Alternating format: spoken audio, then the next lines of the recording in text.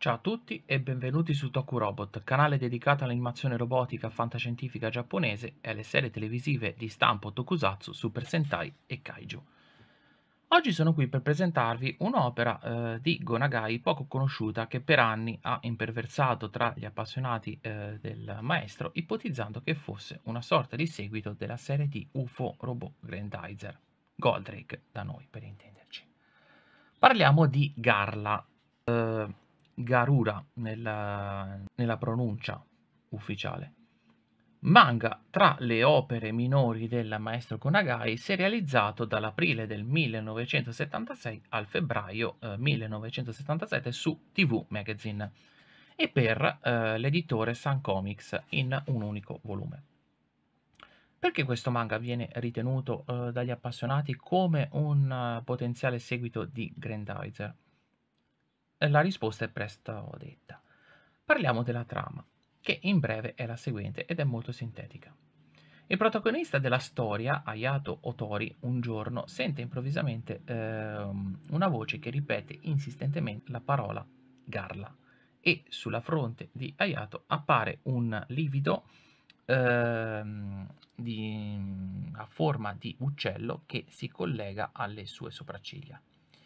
Da lì a poco appare un mostro dinosauro che semina distruzione che viene invocato da un popolo alieno nascosto nelle profondità marine della Terra, che arrivò sul nostro pianeta milioni eh, di anni fa e che aveva la capacità di fondersi con i dinosauri.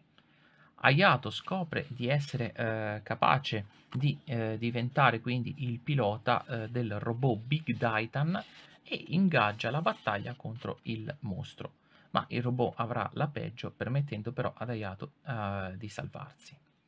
L'aspetto del robot uh, Big Titan, il nome ha una forte assonanza con uh, il Titan 3 ehm, che uscirà due anni dopo, ha un aspetto ehm, che ricorda vagamente il Grandizer ma ne aggiunge le forme di altri robot nagayani, come ad esempio eh, Jig.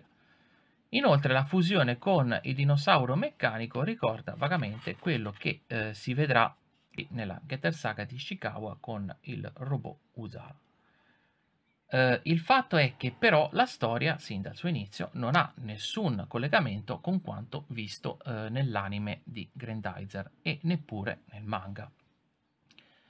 Quindi il collegamento è stato fatto eh, sostanzialmente per uh, l'aspetto eh, del, del, robot. Le fonti italiane e inglesi eh, riferiscono che il manga doveva essere comunque un seguito effettivo eh, della serie di Grandizer, ma a causa ehm, dei celebri dissidi con Toei Animation la storia eh, venne modificata e non ebbe un finale. In verità, eh, su TV Magazine si evince che la storia era già strutturata in questo modo già dagli inizi e eh, rimase incompiuta eh, per volere di Nagai stesso.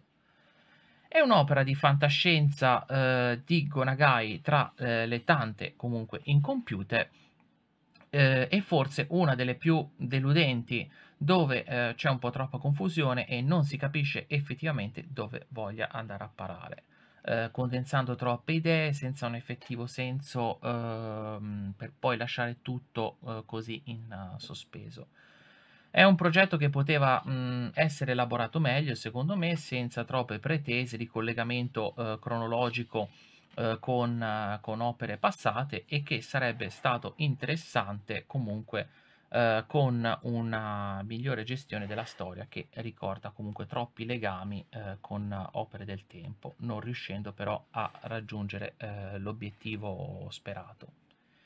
Che dire quindi? Eh, spero che questo piccolo video eh, curiosità vi sia piaciuto.